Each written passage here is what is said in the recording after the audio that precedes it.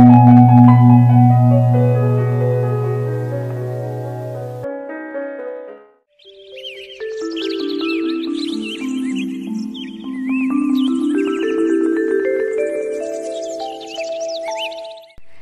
ัสดีค่ะ ท่านผู้ฟังทุกท่าน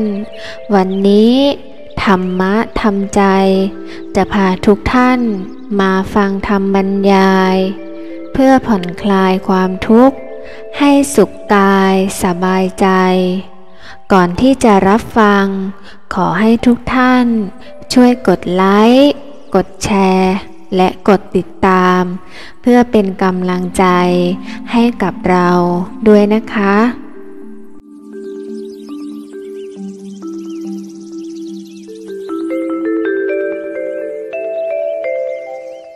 ในปีจอนี้ ในเมืองจันทร์ จะมีฤาษีองค์ทองคำสิกขาลาเพศออกมา เป็นพ่อค้าในปีจอ ขึ้นแปดค่ำห้ามบ่อให้ตักน้ำอาบ น้ำกิน ตามห้วยหนองคลองบึง หลังพระอาทิตย์ตกดินหรือก่อนค่ำพระยายมราชจะนำเอายาพิษพ่นใส่โลกมนุษย์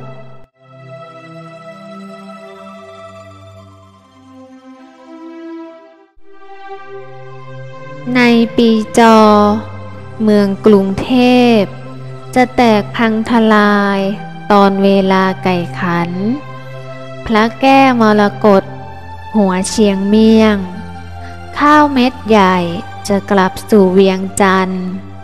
นี่คือพระคาถาขององค์อิน พรหมยมราช ได้เขียนไว้ในใบลาน จงเก็บรักษาไว้ให้ดี เพื่อช่วยหลุดพ้นจากภัยพิบัติได้ ในยามเกิดเหตุการณ์มหันตภัย พระคาถาเขียนไว้ว่า ปะโต เมตัง ประระชีมินัง สุขโต จุติ จิตตะ เมตตะ นิมะนัง สุขโต จุติ พระคาถาบทนี้เขียนลงใบลาน แผ่นทองคำหรือแผ่นผ้าก็ดี ติดไว้ที่ประตูบ้าน หรือในรถ หรือโพกศีรษะ ยามเกิดเหตุการณ์จะช่วยหลุดพ้นจากภัยอันตราย ในการละเวลานี้ เทพเจ้าเหล่าเทวดา ผู้รักษาคุ้มครองโลก ได้กราบทูลต่อพระอินทร์ว่า มนุษย์โลกทำกุศลเพียงสามส่วน และทำบาปกรรมถึงเจ็ดส่วน เมื่อเป็นเช่นนี้ องค์อินจะสั่งลงโทษมนุษย์ผู้ใจบาป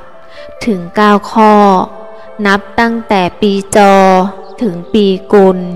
ดังนี้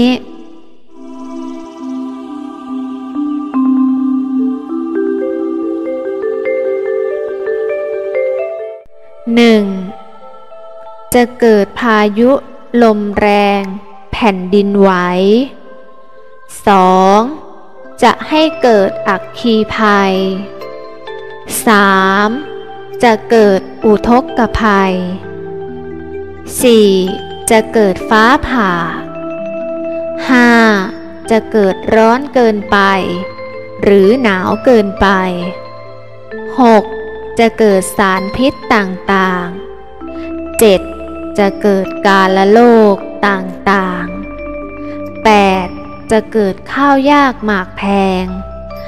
9. จะเกิดอาฆาตพยาบาทเบียดเบียนกันเอง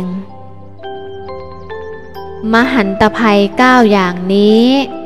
จะหลุดพ้นได้โดยเฉพาะผู้มีบุญ คนที่ปฏิบัติตามคำสั่งสอนของพระสัมมาสัมพุทธเจ้าเท่านั้น รู้แล้วจงบอกต่อกันไป ให้รับทำความดีมากๆ ถ้าเลยปีจอ ปีกุลไปแล้ว ทุกคนพร้อมทั้งลูกหลาน จะได้รับความสุขกายสบายใจทุกคน ให้ทุกคนเคร่งครัดในสินห้า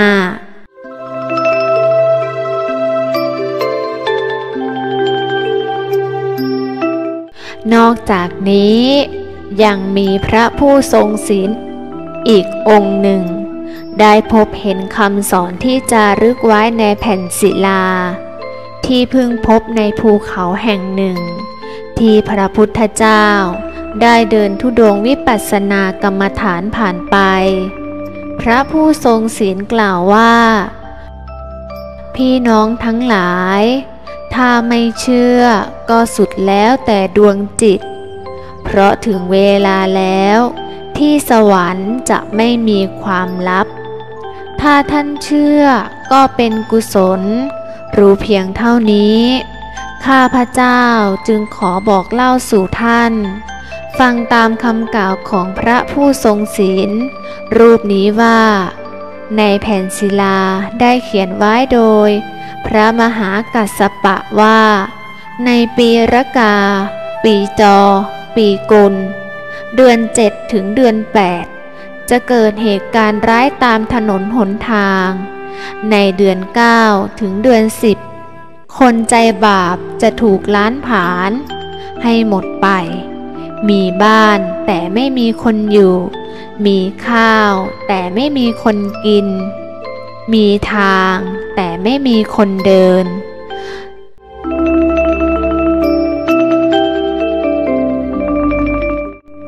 สุดท้ายนี้ พระผู้ทรงศีลได้กล่าวย้ำถึง ความศักดิ์สิทธิ์ของหนังสืออินตก เพิ่มเติมว่า ถ้าท่านผู้เคารพบบูชา หรือบนว่าจะบอกแก่ผู้อื่น หรือพิมพ์แจกจ่ายให้สาธุชนทั้งหลาย ได้รับรู้ แล้วท่านปรารถนาสิ่งใด จะได้สมใจนึก จะปราศจากภัยพิบัติทั้งปวงตลอดไป ธรรมบรรยายนี้ เป็นความเชื่อส่วนบุคคล โปรดใช้วิจารณญาณในการรับฟังและรับชมด้วยนะคะ